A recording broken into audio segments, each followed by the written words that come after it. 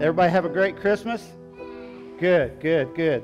Um, we are we are doing something a little bit different today. You may have noticed if you've been here before. We've got uh, all the kids are in here and teachers. Uh, we've got everybody together. Normally on a Sunday morning, uh, we have children's church. Uh, they never even come in here. They're really happy about that typically. Uh, but today we just felt like it'd be good. We're going to have a little shorter service today um, and have our family together, our church family, and all our families together. So it's a good thing. Um, so kids next week we'll be back to normal children's church, and they love it. Uh, those guys do an amazing job up there with them. And uh, so um, today's sermon is Remember When.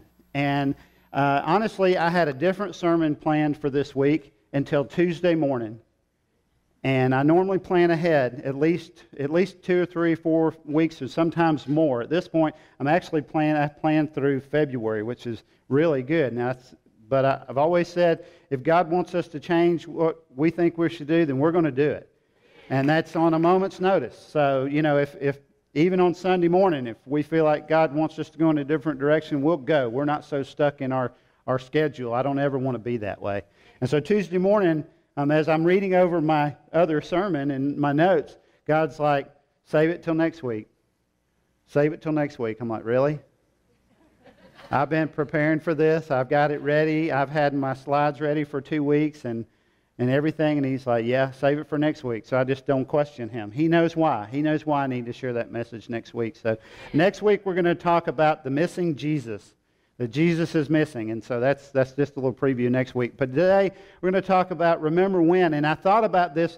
I just think it really does make more sense because here we are at the end of the year. Um, most of you have already had your Christmas time with your family. A lot of you have either traveled to family or had them come to you, and, and some are still doing that. Our kids and grandkids are all coming to our house today. First time we've had them all together in months. Um, actually, the first time we've had them all together just by ourselves without a bunch of other family around. And our oldest son, who's coming from Charlotte, they're here, um, or they're over in Cleveland, hasn't even been to our new house yet. So we're really excited about this afternoon with our kids and grandbabies. And, I, and it never fails. I'm sure this is true with your family. Whenever family gets together, don't you start talking about the old times? And remember when so and so did this. Remember when you did that? And then they start saying, yeah, but remember when you did that and you, you looked really stupid and you're right. And our kids do this every time. I promise you this afternoon, the stories will start flying between our three kids about all the stuff they did to each other and with each other over and over again and they'll laugh and then they'll get, act like they're mad but they're not really mad you know and it's and it's just great honestly but i remember when all that was happening when they were young and it wasn't so fun. They were fighting all the time. And our two sons would fight so much that when we would go on a trip, we would have to put Ashley, our daughter, in the middle so they wouldn't fight. And they would still fight over her going down the road. And so she's in the middle having two boys fighting over her all the time going on a trip. It was just miserable. But now, when we get together, they laugh about it. They talk about it, and she's like, I always had to sit in the middle. I never got a window seat because you two idiots wanted to fight all the time. And it's just, it's, it's really cool how all that changes over time, isn't it? And we've all got our stories. And so I really do love this, this time of the year for those kind of reasons and any time we get together. When I, when I get together with my brother and sister, which is rare anymore, um, we talk about when we were kids, and my brother caught himself on fire. You want to hear that story? You want to hear that story real quick? We lived in the northern suburbs of Atlanta, in DeKalb County, and we had a rare ice storm. This was back in the 70s. Kids, you don't even know what I'm talking about. I get it. Back in the 1970s, by the way, let me clarify that. We had a really bad ice storm. Some of you guys probably remember that. And, and even in Atlanta, it was awful. Power was out for, I think, maybe a week or two in Atlanta. It was awful. And so we were in our basement because it was the only place we had any heat. We had wood heat down there. Um, it was in the old days. It wasn't piped to the rest of the house. So we had to stay in the basement. We had a refrigerator, but it didn't work. But we had, it was so much ice down there, you know, we could put milk outside and stuff. But I'll never forget, we had candles everywhere. That was the days before cell phones when you had the landline, right? and the landline still works. So he, my brother, is on the phone. I can't believe I'm telling this. He won't watch this, so it don't matter. my brother is on the phone talking to a friend of his named Bobby. Never forget it. And he's, there's a candle on the steps going down to the basement, and he's on the phone, and this candle's right there. and suddenly, he's on fire. And he goes, Hold on, Bobby, I'm on fire. and he puts the phone down. We're put, my sister and I were laughing so hard. My brother's on fire. Y'all are laughing. That's why I love this church. And so we're laughing about him being on fire, but it wasn't the fact that he was on fire, it was the fact that he had to say, Hold on, I'm on fire. And so I, I never forget those memories. Isn't it cool that we can laugh and remember the old times, even though it could have been really bad, but we remember them with, with laughter and, and good things. And that's why I just think um, it's good to remember sometimes. It's good to remember. Even, even throughout the Bible, the Lord gives us a lot of instructions to remember. Um, I've got several scriptures. We'll go through them quick. You can just jot them down. Uh, 1 Corinthians, or 1 Chronicles 16, 8 through 12 says, Give thanks to the Lord. Call on his name. Make known among the nations what he has done. Sing to him. Sing praise to him. Tell of all his wonderful acts. Glory in his holy name. Let the hearts of those who seek the Lord rejoice. Look to the Lord in his strength. Seek his face always. Remember the wonders he has done, his miracles, and the judgments he pronounced. Remember all the wonders he's done. Hadn't he done amazing things for you even this year? And listen, I get it. Some of you would say, you know, th- you don't know how bad things are for me and my family right now, Mark. I understand that. But I'm, I'm challenging you today and myself to think back the very fact that you are here today and alive and able to walk into this building means God has done something great for you this year. You can give him praise. It's for him. It's for him and about him. Ecclesiastes 12:1 says, "Remember your creator in the days of your youth, before the days of trouble come and the years approach when you will say, I find no pleasure in them." Now, that, you really need to go back and read that in context, but basically, what the, King Solomon was writing this saying, listen, while you're young, remember what God has done for you, because there will come a time when you think it's so bad that He hasn't done anything for you, which is what I was just talking about. So remember your Creator. And then Deuteronomy 6.12 says, Be careful that you do not forget the Lord, who brought you out of Egypt, out of the land of slavery. And this was Moses' direction to the Israelites for years and years, right? He kept on telling them, don't forget, remember the Lord, remember what He's done. Tell your kids, write it on the doorpost of your home. Never forget what God has done. And every year you should tell your kids what God has done. And I believe that's great instruction for us as parents and grandparents too. Over and over, we should tell our kids what God has done, even if they say to us, I don't want to hear that. Even when they say, I don't care about that. I don't believe that. I don't, you know, whatever. It's just coincidence. Even if they reject you, continue to tell them what God has done for you. And we need to be reminded ourselves, don't we? That's the point of telling our kids and other people is that it also reminds us of what God has done. We're not just blessing them by telling them what God has done. We're reminding ourselves what God has done. In good times and hard times, though, we can forget God if we're not careful. Good times, we can think, hey, everything's great. I'm working hard. I got a good job, great family, you know, beautiful wife and kids, and everything's going good. We can tend to forget what God has done and the things He has brought us through. And the, on the other side, when things are really bad and times are bad, we think God has forgotten us. We think He doesn't care about us anymore. We think that He hasn't done anything for us. But like I said this morning, we're here because God allowed us to be here this morning. Those that are traveling have the blessing to be able to travel to see their family because God has allowed it. God remembers too. Did you know that? God has a good memory. Psalm 111.5 says, He provides food for those who fear Him, and He remembers His covenant forever. See, God made a promise to us that He would never leave us or ever forsake us. That's a promise from God. No matter what you might think or the circumstances you're in, God says, I'll never leave you. I'll never even turn my heart away from you. I'll always be there for you, and I'll always provide for you. But in a good way, God also forgets some things. Jeremiah 31 34, God says, I will forgive their wickedness and will remember their sins no more. Isn't that good news? Because I got a bunch of them. I don't know about y'all, but I got a bunch of sins that God had to forget. And I'm so thankful that He says, I'm Mark, I don't remember your sins anymore. And when I go to Him, say, God, I, there's times, I'll just be honest, there's times I remember some of the stuff I did many years ago, and the guilt comes back. I don't know if any of y'all are like that, but sometimes the guilt will come back, and I, and I feel like I need to re repent to God. And, and God says, What are you talking about? I don't even remember that. And I'm so thankful for that. Um, th- this morning, um, I'm reminded of the fact that we've, on the 22nd of December, made nine months that Don and I have been here in Jasper at Living Word Church. We're so blessed.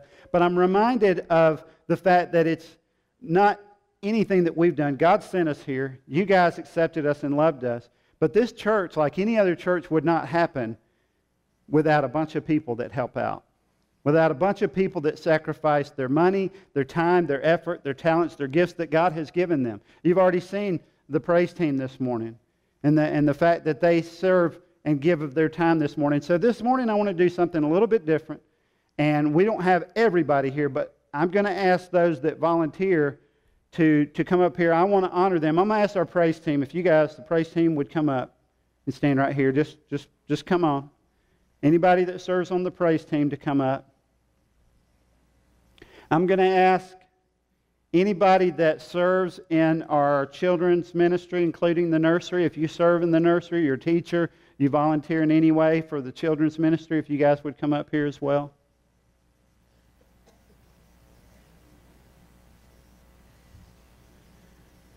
I'm going to ask that anybody that serves in the student ministry, uh, which would include Keegan, who plays on our youth worship team, to come up. And I know we're missing some folks. You guys come as close to the front and line, line up all the way around there. I want, I want to get you guys all the way up here. You guys that serve in the media, which at this point is Brian is the only one left back there. We, we have others as well. Not everybody's here.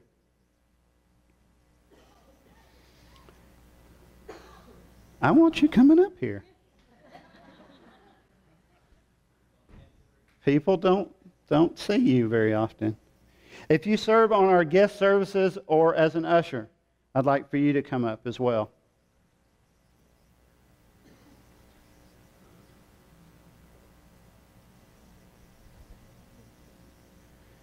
If you serve on our prayer team, I'd like for you to come up. Anybody that serves on the prayer team. Now, some of these folks are a part of several different ministries, in case you didn't know. If you serve in the men's or women's ministry, I think they're already up here. Um, Sunday school, Bible study, they're probably already up here. Small group leaders, probably already up here. Are there any ministries I haven't thought of? Elders, deacons, elders and deacons. Most of them are already up here. What have I forgotten? Yeah, student ministries. That's right.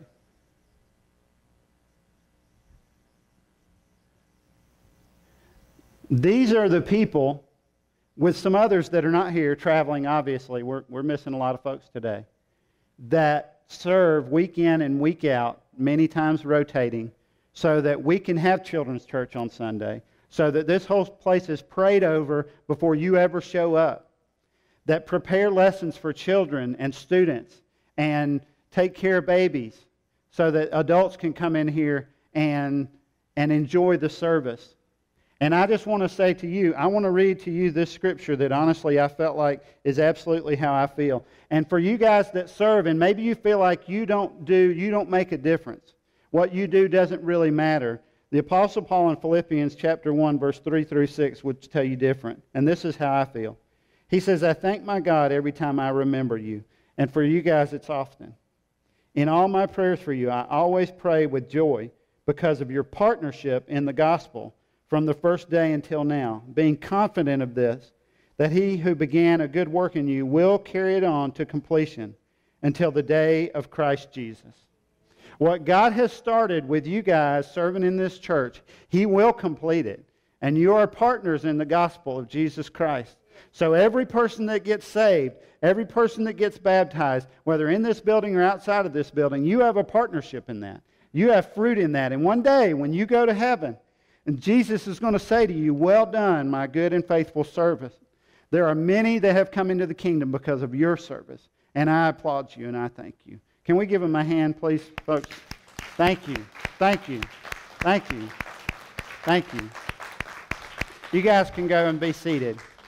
I know that was kind of odd for them. They don't these are folks that don't like the attention. they don't want to stand up on front. They don't want anybody clapping for them, and that's great.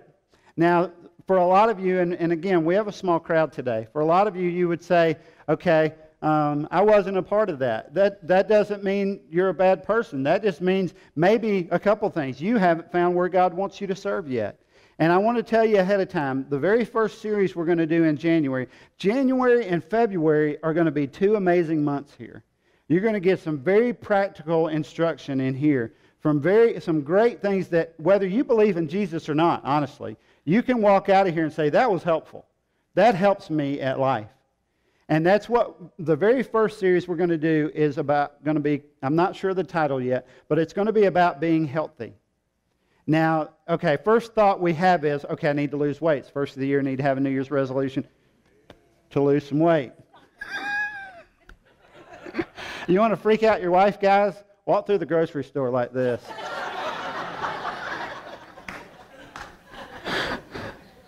Uh, I promise that's not a good idea. Uh, but anyway, but we're going to talk about being healthy physically, spiritually, emotionally. We're going to talk about having a healthy church. We're going to talk about having healthy relationships. And so, one of these weeks, we're really going to focus on what a healthy church looks like. And the volunteers is where it's at. People just serving and giving of their gifts and their talents just for the glory of Jesus Christ. And so, I'm so excited about that. And many of you many of you have already expressed interest. I want to serve. I want to be a part of the church. We're going to have a membership lunch and class on uh, January the 17th, right after the service. We'll serve lunch. If you're interested in any way, you just want to know anything about Living Word Church, sign up in the back. You don't have to join the church. It's just, I want to know more. That's the day you need to be here, okay? And stay after. But many of you know that God has called you to something, and you're not sure what. But I believe that if you pay attention to what the Holy Spirit would say to you, He'll direct you in the right place. Maybe it's just a little passion in your heart. Maybe you would say, I just love little kids. Well, that may be a, a nudge from God to say, you need to serve in our children's or, or nursery. Maybe you'd say, I love, I love hanging around, you know, not the little kids, but the older kids. Maybe you need to serve uh, in, in the student ministries. Maybe you need to, have a small group at home. Maybe you'd say, I love to do stuff in my home. I love to have a small group of people. This is not my thing to get up in front of talk a bunch of people, but I love being around uh, people in my home. Maybe you can be a small group leader. We need, we need to do that. We're going to try to start some small groups by the 1st of February. But I promise there's a place for you to serve God. I promise you there, there is a place for you to serve God. What I'd like to do now is to have communion together. Now, I'm going to tell a little story on myself. I was in a bit of a rush this morning, and what many of you don't know is that we actually plan out our services. I give out an order of service to the media guys, to David, praise team leader, whoever, Daryl, or whoever's doing, and Donna doing announcements so they know kind of the order of what we think we should do. I was in a big hurry this morning, and over the weekend I thought, we need to do communion. Come together in unity. It's a great picture of the church, you know, coming together. So we have bread and we have juice. And so I wrote on Steve's order of service at the bottom, I thought I wrote communion. Steve came up to me and said, Are we converting? I'm like, What are you talking about? And he shows me the piece of paper and it said communism. I'm like, oh my gosh. No, we're not communing, converting to communism. That's supposed to be communion. So we're not going to have communism. We're going to have communion this morning. 1 Corinthians chapter 11 verse 24 says when they had given thanks when he had given thanks this is Jesus he broke the bread and said this is my body which is for you do this in remembrance of me so when we take this bread Daryl and Eileen if you guys would come um, and, and Lane would you come and Donna maybe you guys take one station we'll have two stations of communion and so when you take the bread remember Jesus Remember what he did for you, okay? Because he's done a lot for you. And this, he said, when you do this, anytime you do it, remember me. And so we got to remember that Jesus' body was broken, just like the bread is broken. And then his blood was poured out. His blood was spilled for the forgiveness of our sin. So what we will do is you'll take a piece of bread, you'll just dip it in the juice, and remember, just look at it for just a second before you take it. And just remember what Jesus has done for you. Okay? And then we've got a video that's going to play during that. And as soon as we're done with communion, you can come as you feel led. As soon as we're done with that, we're going to have baptism. Okay? So, so come as you feel led.